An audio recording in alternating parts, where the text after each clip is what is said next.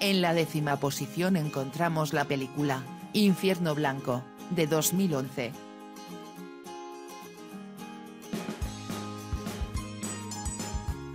En el puesto número 9, tenemos la película, Michael Collins, de 1996. En el número 8, Rock Roy, La pasión de un rebelde, la película de 1995. En la séptima posición encontramos la película, El Caballero Oscuro, la leyenda renace, de 2012. En el número 6 nuestros usuarios han decidido poner al, Gangs of New York, la película de 2002.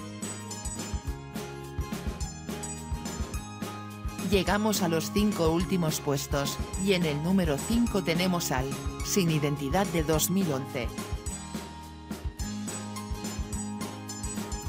En el puesto número 4, tenemos la película, Venganza 2, Conexión Estambul, de 2012. Estamos ya en el podium y con la medalla de bronce tenemos al, Batman Begins, el filme estrenado en 2005. Hemos llegado al número 2, donde se encuentra la película, La lista de Schindler, de 1993.